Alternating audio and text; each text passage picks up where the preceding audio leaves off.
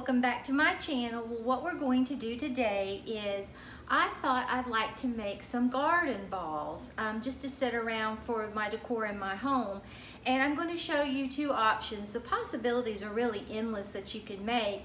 But um, so let me show you what you'll need if you want to make these two options, okay?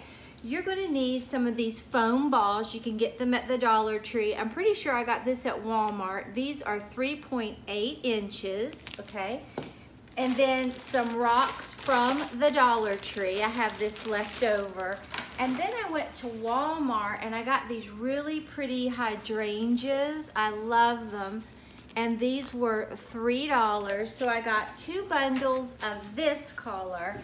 And then I didn't know if I wanted to mix um, the purplish in with it.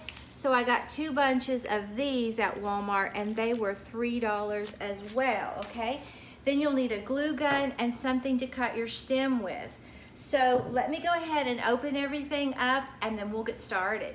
Okay, um, first thing I'm going to do, I have this little low temp glue gun heating up uh, because my big DeWalt is a high temp glue gun and you definitely want a low temp so you don't melt your styrofoam. Okay, and all I'm really going to do is um, I'm just going to cut these petals off close like this and just glue these onto these balls. You could do this, you could do those little um, little green like moss discs that the Dollar Tree sells. That would be really pretty. Just anything like that to put on here. But I'm going to do, like I said, the ones with the rocks and then these. I think these will be really pretty. So I know you probably already have figured out what I'm going to be doing. I'm just going to put some glue right on here and then just stick it right on there. This is so easy. You can do whatever you want, but it's gonna give us a really cute look, like just a really pretty garden ball that we can put in our house. I think it's gonna be really pretty. So I'll do a couple more, but I know you know what I'm doing. If you hear anything, we have contractors at our house today, and it has been an experience and a half, let me tell you. So that is what that is. but you can see all you do is you just overlap it and we're going to make this beautiful garden ball. So I'll be back when I get this one finished. I'll be right back. Okay, here it is. I think this is so pretty. You could keep it all one color. You could mix colors. This is so customizable. You can even get this and attach um, like that burlap and let three of them hang down and make your own. I think this is so pretty. Okay, so this is the first option that you can do to make a garden ball just out of flowers. And you could get your flowers from the Dollar Tree if you wanted. But at Walmart, they are very inexpensive, okay? So for your next option, but I think this is adorable, okay?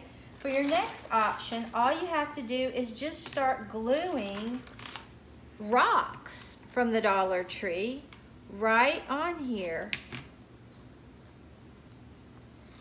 And that's all I'm going to do to make this one. These are so easy, and like I said, they're so customizable. And garden balls can be very pricey, I think. So just make sure that you put a lot of glue on the rocks and glue them right down there. It's a little time consuming, but well worth it, okay? And you can see they're on there. Just make sure you use a low temp glue gun and put a lot of glue on there. But you can do so much with this. So I'll be back as soon as I get all my rocks glued on this one. I'll be okay, right back. Okay guys, I've revamped what I was doing. I was going to put the rocks on and you saw me glue some of them on, but they didn't want to stay. It would just require way too much glue. So I'm just going to go ahead I've just peeled them back off and I'm just gonna go ahead and make one incorporating this really pretty purple and this green, or maybe just purple, I don't know. So I'll be back and show you how that one turns out. Okay, this is what I'm getting so far. I'm decided to do the purple. I may do all purple, and I'll show you once again what I'm doing. Just gonna put this right on the edge and just snug it down there and then just let it open up. And that's what we get. This is so pretty, all right? So I'll be back, so this video isn't really long. I'll be back once I'm finished. Okay guys, I'm finished and this is how they turned out. These are gorgeous garden balls. I love these. And it took a little over one each. Um, I used one of the green ones and then this much more of another one, okay? And on the purple, it took one with this much left over of the first one and then this much left over on the second one. So it just depends on how full you want them, but I wanted mine really full, but you could see if you made these the same color, you could hang them down like I said, or just set them. I'll show you how I'm going to display them. Um, but they're so pretty. I love the colors. This is the purple. And then that is that really pretty green. These are so inexpensive to make and totally customizable. So I'll hop off and show you how it looks in there on my candle holders that I made. Now naturally I would have them the same color but I only made a green one and a purple one. So, um, but just kind of imagine if they matched in color how pretty they would be. So if you enjoyed this video, please give it a big thumbs up and subscribe to my channel. Until next time, bye guys. Guys, here they are on the candle holders that I made. You can see you would never know that you made those garden balls. They're really pretty and especially with that floral arrangement that I made from the Dollar Tree, it really picks up that purple. Um, but I really do like these. They're so inexpensive to make and you can get exactly the color to match your decor.